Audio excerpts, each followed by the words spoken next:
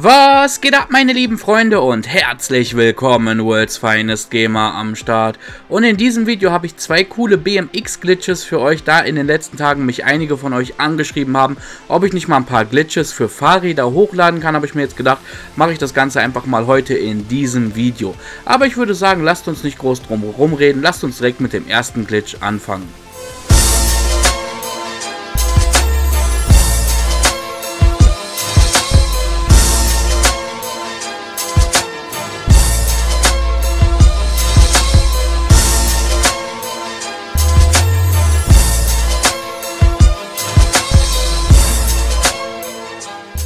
Der erste Glitch in diesem Video ist ein Glitch, wie ihr Fahrräder in euer Motorrad Clubhaus bekommen könnt. Zunächst einmal braucht ihr für diesen Glitch ein Fahrrad auf einem Autostellplatz. Wenn ihr jetzt noch keines habt oder ihr nicht wisst, wie das Ganze funktioniert, verlinke ich euch unten in der Videobeschreibung mal ein Video dazu.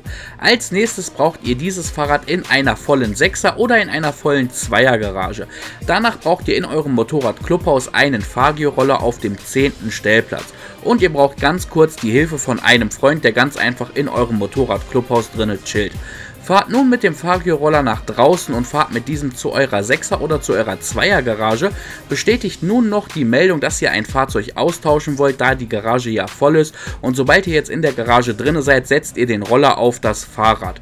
Nun müsst ihr einfach wieder zurück zum Motorrad Clubhaus fahren und wenn ihr dort jetzt reingeht, werdet ihr merken, dass ihr jetzt dort ein Fahrrad drinne stehen habt. Und für alle, die jetzt fragen, was mit dem Teleport-Glitch los ist, da kommt die Tage ein neuer Teleport-Glitch, da der alte gestern gepatcht wurde.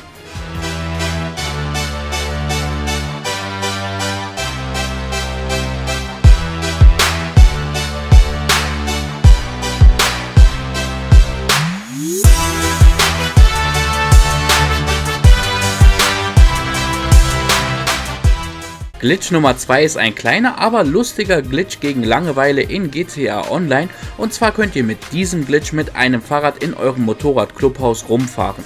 Dafür braucht ihr zunächst einmal ein Fahrrad in eurem Motorrad-Clubhaus und dieses sollte sich auf dem 10. Stellplatz befinden. Auf den anderen Stellplätzen klappt der Glitch leider nicht immer und von daher empfehle ich euch einfach den 10. Stellplatz. Geht nun zum blauen Punkt in eurem Motorrad-Clubhaus und tauscht das Fahrrad einmal gegen ein anderes Fahrzeug aus und wenn ihr das gemacht habt, tauscht ihr das Ganze einfach wieder zurück. Habt ihr das jetzt gemacht, verlasst ihr ganz einfach wieder das Menü vom blauen Kreis und geht wieder zurück zu eurem Fahrrad. Nun müsst ihr nur noch auf euer Fahrrad aufsteigen und ihr könnt mit der X-Taste durch euer Motorrad-Clubhaus rumfahren. Ich feiere diesen Glitch einfach nur, er mag zwar für den einen unnötig sein, aber glaubt mir, das Ganze macht echt viel Spaß. Aber nun gut Leute, ich bin auf jeden Fall jetzt an dieser Stelle Stelle einfach mal raus. Ihr wisst, was zu tun ist. Fahrt den Like-Button mal so richtig mit eurem Fahrrad um. Und dann würde ich sagen, sehen wir uns im nächsten Video wieder. Bis dahin, macht's gut, bleibt gesund, haut da rein und ciao.